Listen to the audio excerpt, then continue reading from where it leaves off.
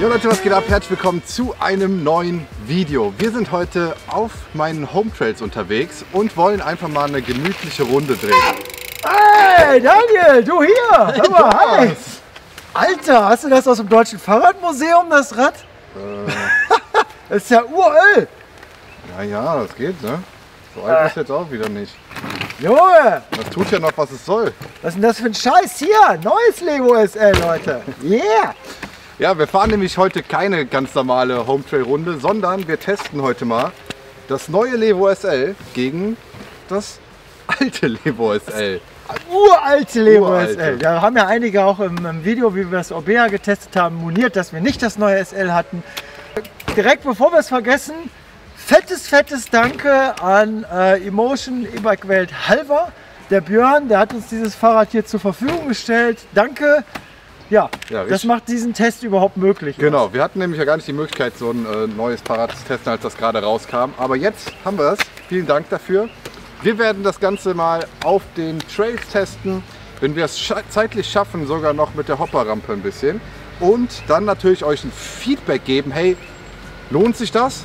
Und vor allen Dingen, was ist wirklich alles, ist neu gleich alles besser? Oder gibt es auch Sachen, wo man einfach sagt, "Hm, das ist eigentlich äh, bei dem alten geiler gewesen? So, Ja, ich bin sehr, sehr gespannt.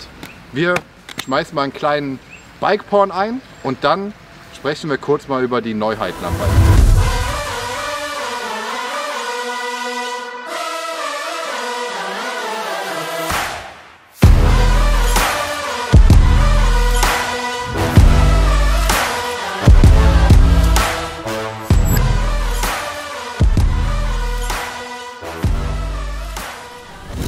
Was gibt es überhaupt für Änderungen beim neuen Levo SL gegenüber dem alten Levo SL?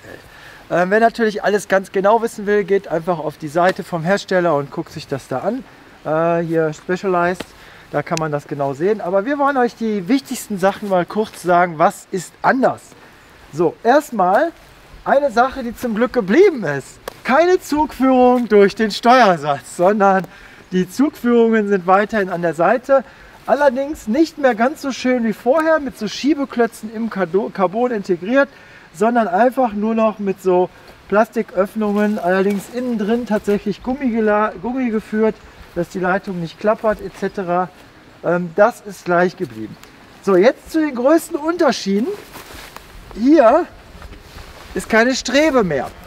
Die einen sagen, "Äh, sieht jetzt aus wie alle anderen Fahrräder, die anderen sagen, endlich ist die scheiß Strebe weg. Also das muss jeder für sich selbst wissen. Ich denke, der Rahmen ist auch ohne die Strebe stabil genug. Ähm, was auf alle Fälle auch noch äh, krass anders ist, wo sich Specialized ein bisschen die Kritik der Endverbraucher zu Herzen genommen hat.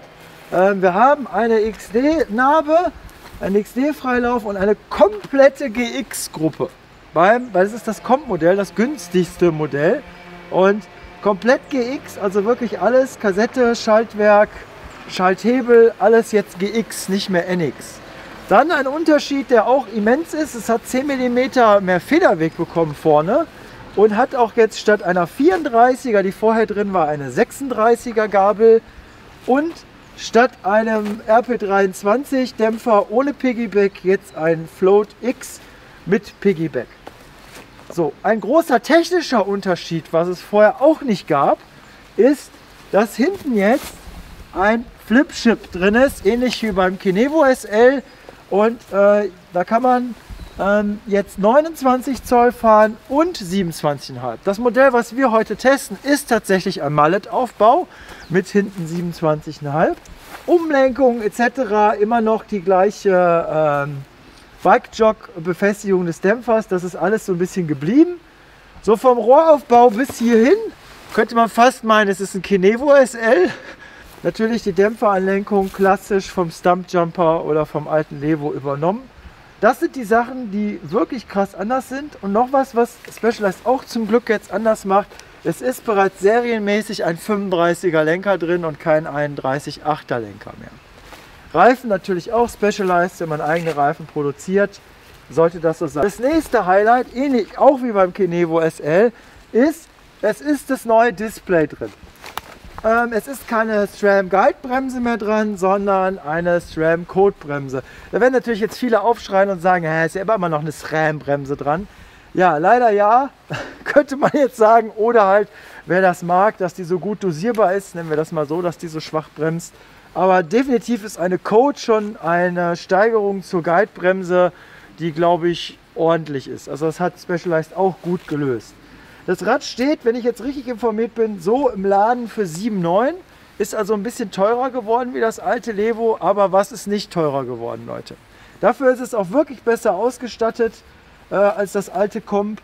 Ja, Farben gibt es wohl drei Stück, orange, blau und dieses braun mit, das ist jetzt Ocker hier, das ist der Specialized Schriftzug, ich weiß es nicht. Ich finde die Farbe mal ganz nice, sieht man nicht so oft. Und äh, ja, Daniel, ich bin jetzt äh, schon richtig gespannt, ähm, wie die Dinger gleich auf dem Trail sich äh, fahren.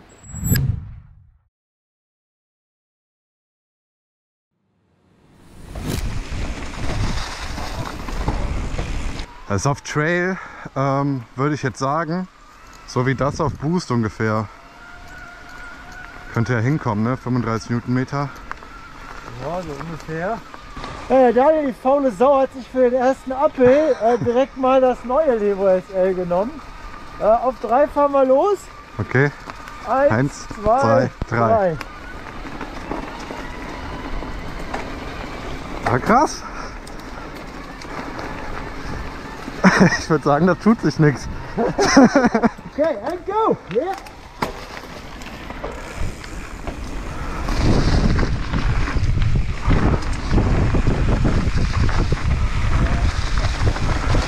Uiuiui. Ey,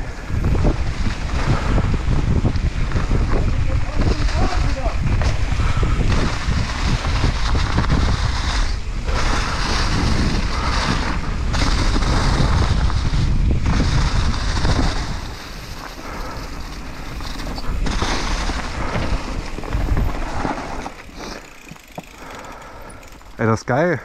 Hä? Das ist geil, das Rad. Ja, jetzt nächster Appel, komm runter.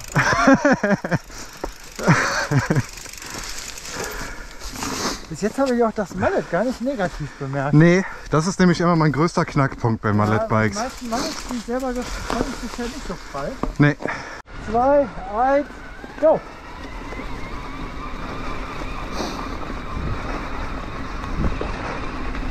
Es ist anstrengender mit dem, ne? Ja, das ist auch das 29er Rad, ne?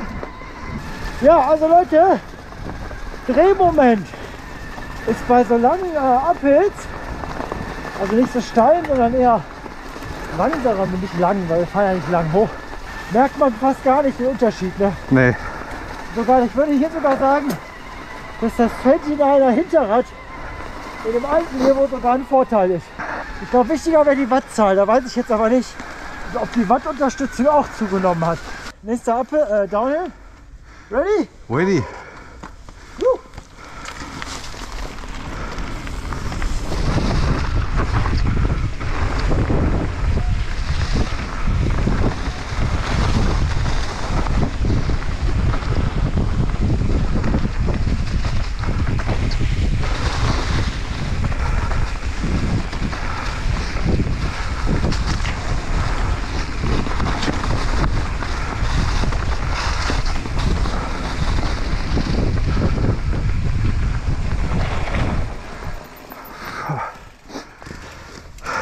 Das ist beides geil. Beides geil. Es ist tatsächlich ein bisschen verspielter, finde ich. Bisschen verspielter und ähm, ich habe das Gefühl, bei den Sprüngen nochmal einen Ticken leichter in die Luft zu kriegen als das. Wobei es trotzdem auch laufruhig ist noch. Ja, und trotz des Mallets. Also Ja. Mallet merke ich jetzt gerade gar, Gar nicht nicht. negativ. Nee. Beim Bergauffahren ja, Ja, aber beim Bergrunter gar nicht. auf jeden Fall. Also das Levo und das Kenevo hat ja den gleichen Motor. Ja. Und das beim Kenevo war es viel lauter. Oder Wieder. es ist halt einfach eine Produktionsschwankung. Kann auch sein, ja. Irgendein Zahnrad, was mal besser globalisiert wurde und manchmal schlechter. Keine Ahnung. Was halt mega ist, finde ich hier der, der Tacho. Der hatte das Kenevo ja auch, den finde ich schon sehr schön.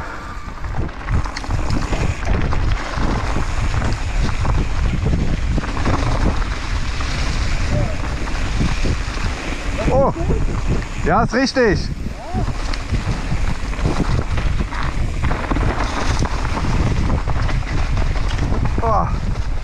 Sehe nichts mehr.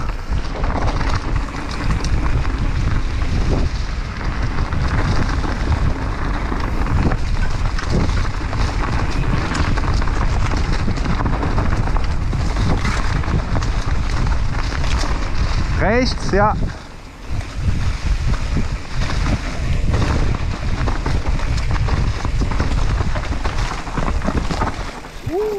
Hinterrad versetzen.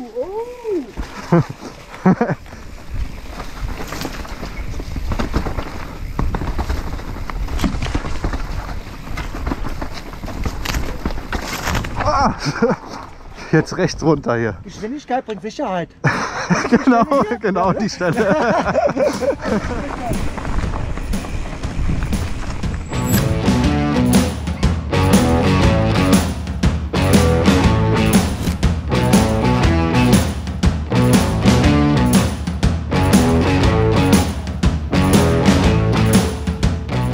Leute, wir sind zurück am Parkplatz, haben die ersten Runden Geht gedreht. ja gar nicht.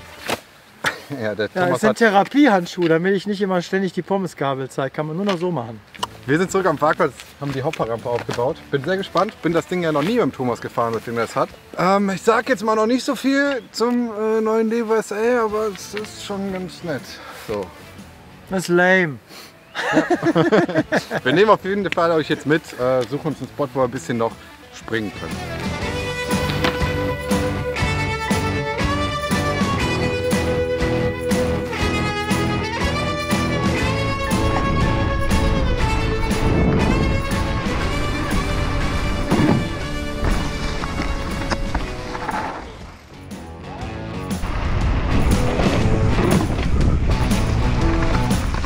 Ui, ui, ui, ui, ui.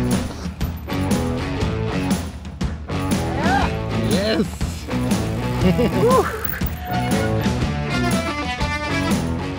Das ist schon der Punkt im Basic-Kurs, wo die Leute so ein bisschen Angst bekommen.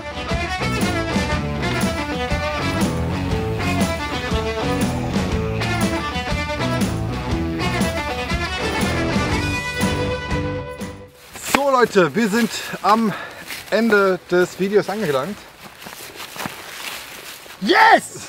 Müllabfuhr ist da! So, Ja, Levo SL, welches Jahr ist das eigentlich? Habe ich schon mal gefragt. Ne? von letztes Jahr. Also von Zwei- vor, jetzt ist es vorletztes Jahr. Also 2000 2022 kann man sich eigentlich gut merken. 2022 und 2023. Das kam ja letztes Jahr das Schmuckstück.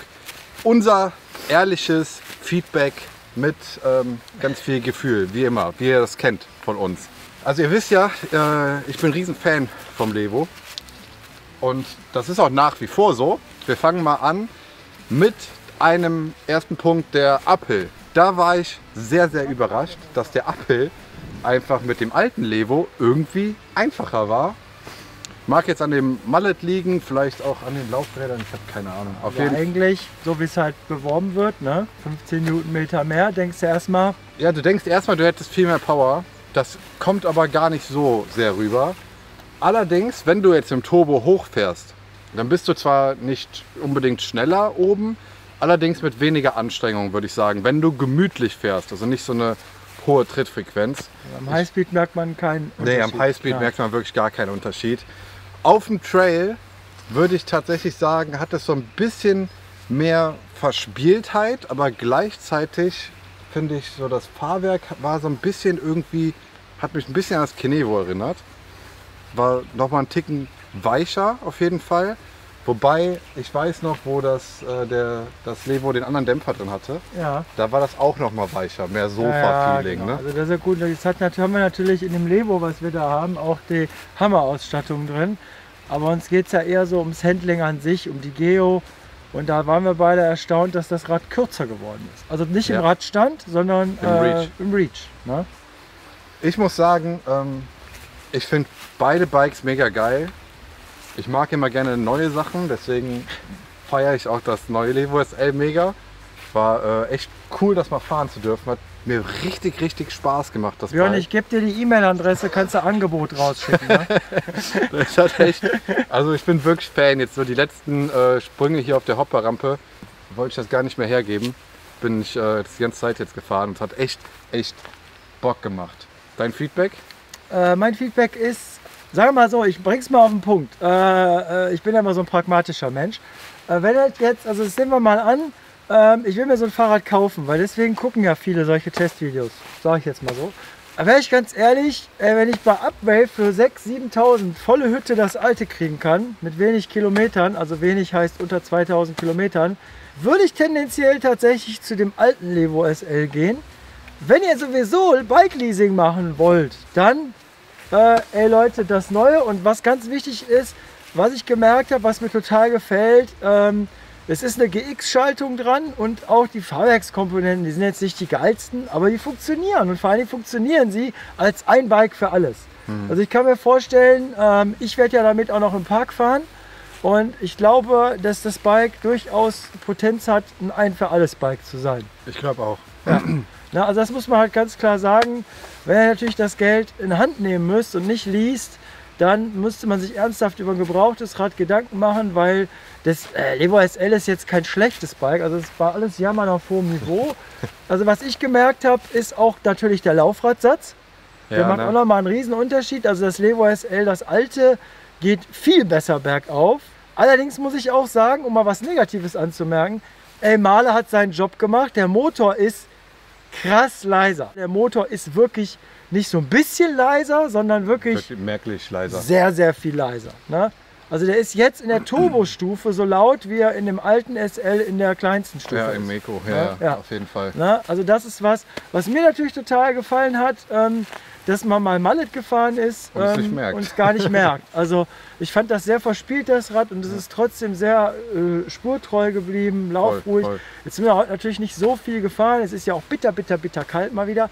Ähm, aber äh, ich finde, es ist einfach ein geiles Bike, muss man sagen. Aber beim Fazit werde ich gleich noch was sagen. Äh, ich hoffe, dann bis dahin hat der Björn abgeschaltet. ja, also ziemlich ähnliche Meinung, würde ich sagen, haben wir. Ähm, ich bin auch von, ihr wisst ja alle, Mallet ist, bin ich eigentlich gar nicht so ein Fan von. Habe ich bei dem Rad jetzt gar nicht gemerkt. Und das ist immer ein gutes Zeichen. Ja, mein Fazit, wie ist das jetzt? Also ich bin immer jemand, der schon auch sehr aufs Geld guckt. Und ich würde, glaube ich, ähm, lieber ein günstigeres, also die, die neuen Features, ne, dass der Motor leiser ist, dass ähm, man jetzt Mallet fahren kann. Das Display. Das Display. Das sind jetzt für mich Dinge, die ich ähm, jetzt nicht unbedingt brauchen würde.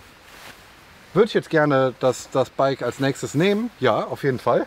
Also würde ich, würde ich jetzt eins zu eins so mitnehmen. Bin ich mega zufrieden mit gewesen. Und bis auf den Lenker. Bis auf den Lenker. Ja, den okay. Lenker würde ich natürlich ja. mitnehmen. Ja. Und das Casting der Gabel würde ich natürlich dann auch silber machen. nee, aber also das ist echt ein ganz, ganz äh, ja, schwerer Vergleich, finde ich, weil beides Bikes finde ich einfach mega geil, machen mir mega Spaß. Für Trails, für Park, also ich, ich bin ja auch, wir sind ja das Kenevo gegen das Levo SL im Park gefahren und äh, das das Bike macht auch alles mit. Ich sehe das Bike so ein bisschen. Genau, wenn ich mein Fazit vor, ich sehe das so ein bisschen zwischen dem Kenevo SL und dem alten Levo SL, ja. sehe ich dieses Levo. Ja. Ähm, also mein Fazit ist äh, da ganz ähnlich. Äh, man muss wissen, was man haben will. Was man auch vielleicht mal ansprechen sollte, äh, die Hersteller gehen äh, zu schlichteren äh, Lackiermethoden, weil das alte hat natürlich einen Candy-Lack, man sieht das Carbon durchschimmen, da stehe ich voll drauf. Aber das ist halt alles sehr aufwendig und deswegen einfach normaler Lack drauf. Ne? Aber die Farbe ist ja immer rein subjektiv. Die einen feiern es, die anderen sagen, äh, warst du mit dem Fazit fertig oder? Ich würde sagen, ich bin fertig. Ich kann mich da, also ich finde auch genau das, als du das Fahrrad herausgeholt hast, habe ich gesagt, hey, äh, das Oberrohr, das erinnert mich irgendwie ans äh, Kenevo. Und ich muss auch sagen, das ist so ein, so ein wie so ein Mini-Kenevo SL.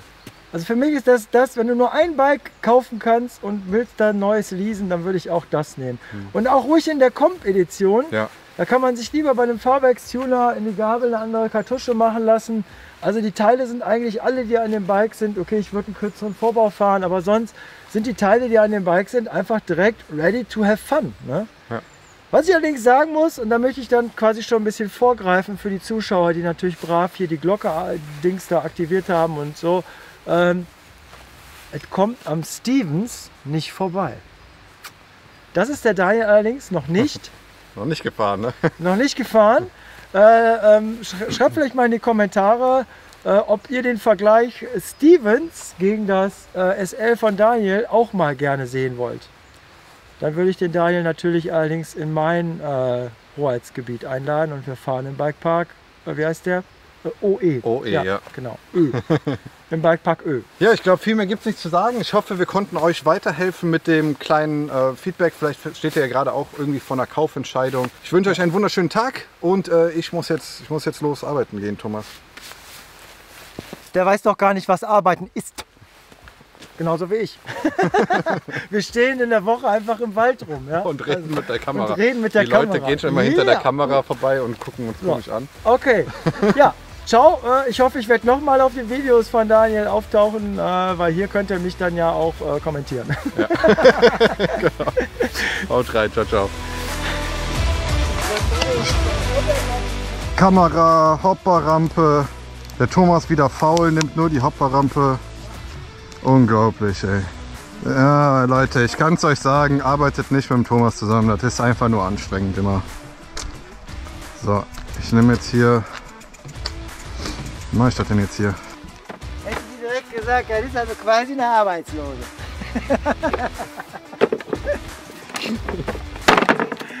also wieso, Oma? Oma, kannst du mir fürs Kiosk einen Mark geben? Reich wird man nur, wenn man kein Geld ausgibt.